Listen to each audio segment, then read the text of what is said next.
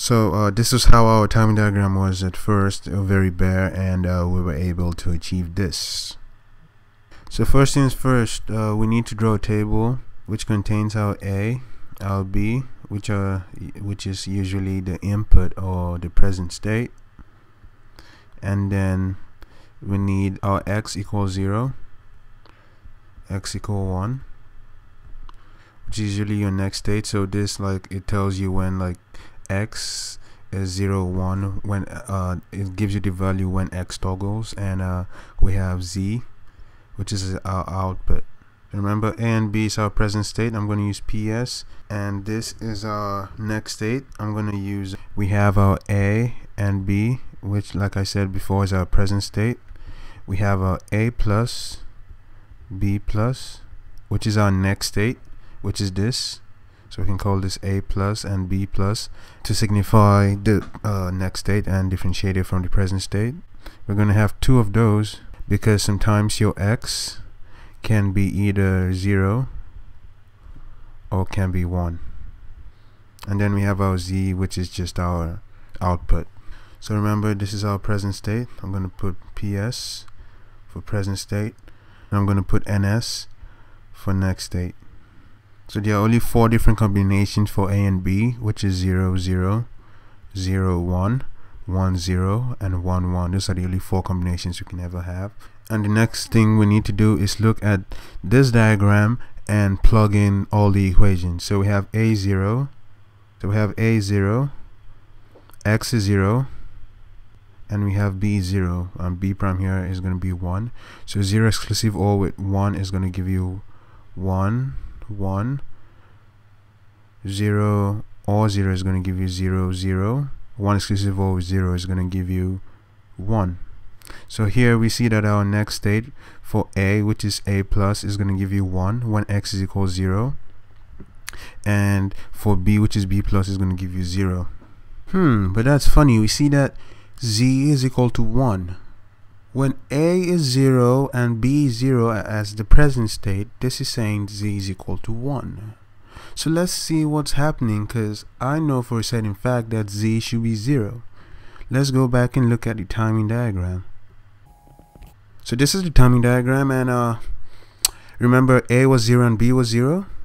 Here we see that when A is 0 and B is 0 we have Z equals 0. So what is happening? There's something wrong. And you know what's wrong? It's because the first way we did it was like using the Mealy machine because you remember I told you for the Mealy machine the output is a function of the present state and the input. But this is a Moore machine. The output is a function of the present state only. So x is not needed in this problem. And the x value has been preset as 0 1 1 0 1 so this is how this machine works. This is this is like the sequence in which it should follow. 0, 1, 1, 0, 1. When A and B is 0, your Z is 0 because we are not looking at the X value in this case. This is a Moore machine. So you see we had 1 in that case. That is the mistake I do not want you guys to make when you're having an exam or something. In the Moore machine, you have to go back to your time diagram and see what's happening between A and B. So now that we've gotten that off the way, look as we saw in that timing diagram, when A is 0 and B is 0, your Z is 0 instead of 1. So ignore that 1. It is okay to use this method of put, plugging in the values to find your A plus and B plus and your for x equals 0 and x equal 1. Because as, as I show you, as I showed you in the timing diagram, we only have this when x is equal to 0 okay so what happens when x equal to 1 in this case? We do not have that value. So we cannot use the timing diagram to completely fill up the state graph table. So the only way we can do this is using the plug and chug method. I mean that's what I call it. So in this case let us figure out what the next state is if your x was equal to 1 so we have 1 here because your b is 0 and we have 0 here. Your x is 1 your x is 1 here. 0 or 1 is going to give you 1 and that's going to tra translate down here to b plus.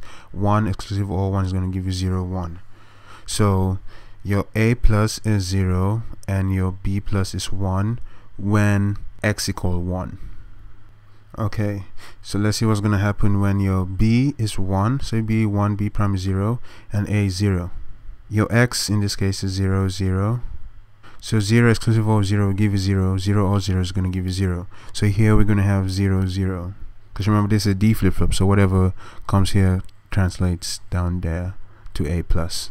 Okay and let's see what happens when your x is equal to 1 when x equal 1 1 or exclusive OR 0 is going to give you 1 and 1 or 0 is going to give you 1 so here we have 1 1 let's see what's going to happen when your a is 1 and your b is 0 so of course your b prime is going to be 1 and your a is 1 and let's see what's going to happen when your x is 0 and your x is also 0 0 exclusive OR 0 is 1 1 or 0 is going to give you 1 and we have 1 1 again. Let's see what's going to happen when your x is equal to 1 1 exclusive OR 1 is going to give you 0 and 1 or 1 is going to give you 1 so we have 0 1 and finally let's see what's going to happen when your a is 1 and your b is 1 so of course your b prime is going to be 0 and your a is 1 and let's see what's going to happen when x is 0 and x is 0 0 exclusive OR 0 is going to give you 0 1 exclusive OR 0 is going to give you 1 and that's going to be 0 1 right here and uh, let's see what's going to happen when your x is 1 when your x is 1 we have 1 exclusive OR 0 that's going to give you 1 and 1 or 1 is going to give you 1 and here is going to be 1 1 and let's see what your z values are going to be when your a is 0 and your b is 1 a 0 b1 your z is 1 a 0 b1 your z is 1 you see this? Okay let's go back and put 1 as our output for z Let's see what's going to happen when it's going to be 1 and 0. Let's see what happens when A is 1 and B is 0. When A is 1 and B is 0, your Z is 1. Okay, let's go back and chuck that in. And let's see what's going to happen when your A is 1 and your B is 1. When A is 1 and your B is 1, we have Z equals 0. Let's plug that in. We have Z equals 0 and I made a little mistake right here and that is uh, the 1 1 should be here and then your 1 0 should be here. So let me quickly fix that and uh, I'll explain to you what should why that's the case. And you see uh, this is a transition I made. Like I said my 1 1 came on top and my 1 0 came at the bottom.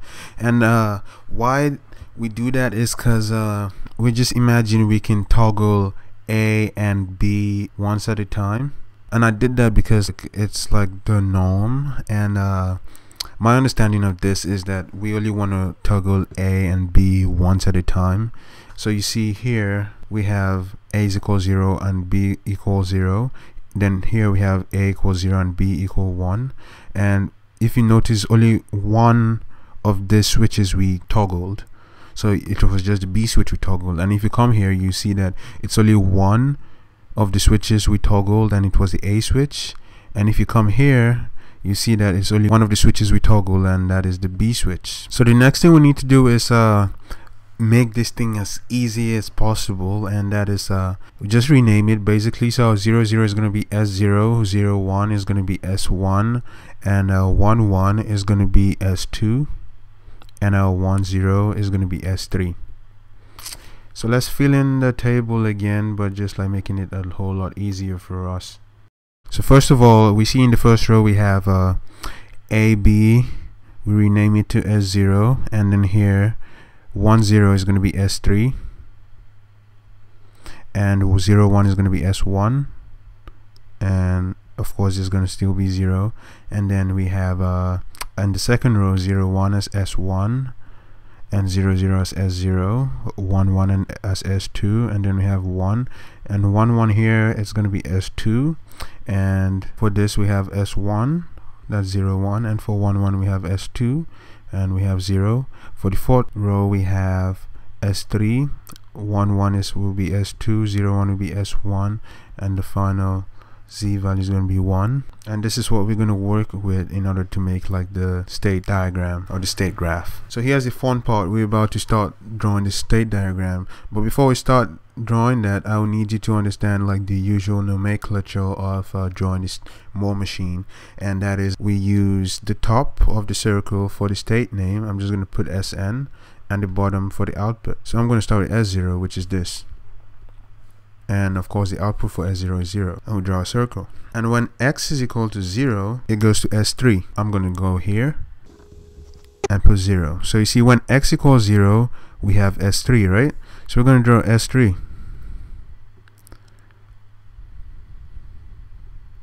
and what's the output for S3 it's 1 1 and when X equal 1 what happens? We have S1 okay and this is S1 and what is the output for S1 0 is 1 my bad 1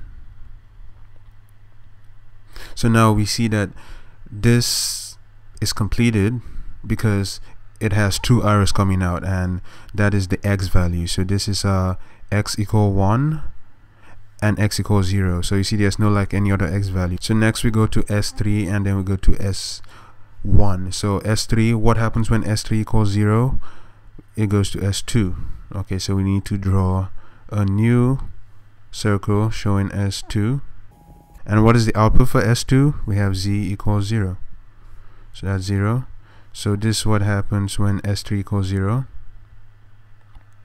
so what happens when s3 equals 1 it goes to s1 so we just do this we don't need to draw another circle because we already have S1 that's what happens when S3 equal 1 so now we go to S1 or we can go to S2 doesn't matter. I mean you just need to like make sure that each circle comes has like two uh, arrows showing the X value. So this is for X equal 1 and so let's see what happens when S1 equal when X equals 0 in S1 so it goes to S0 so you can do like this and that is 0 and let's see what happens when it is 1 it goes to S2 so we can do this to show 1 okay so S1 is already saturated and then we go to S2 which is the final one because this is done. It has two arrows which is this and that. And this is also done because it has two arrows which is this. One is equal to 1 and that one is equal to 0 so the only thing remaining is S2 so let's go back to here and when x equals 0 s2 goes to s1 and when x equal 1 s2 goes to s2 so you can just like make a loop back. You see that? You, you just make that loop to show when s equal 1 and that my friends is the state diagram or the state graph for the example we used and let's see all the magic that happened at first. We had this machine and uh, we needed to make the timing diagram and we did that. This was like the initial state. We had we were given the x values we were given a and we were given b. And we were told that uh, this uh, this is a rising edge triggered machine. And we used the yellow lines to like show the triggers so it would be easy for us to interpret it. And like this was what we saw at first. And then we went over to do this and we were able to like get in the outputs so we had the, the new z output. We had the a output and we had the b output which translate to this a's and this b's output. And then after that we came here to make the state graph. And that is everything you need to know about the Moore machine